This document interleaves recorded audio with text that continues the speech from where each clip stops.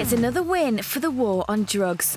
Mexican authorities have shut off access to a smuggling tunnel between Tijuana and a San Diego industrial park. US authorities discovered that super tunnel and arrested three people who were suspected of being connected to the operation. Authorities believe the Sinaloa cartel built and operated the tunnel, which was 1,760 feet in length, from Mexico to a rented warehouse in a San Diego industrial area. The tunnel is fitted with its own electronic rail system, hydraulically operated doors, ventilation, and electricity. US federal agents confiscated more than 17,000 pounds of marijuana and 325 pounds of cocaine from the tunnel.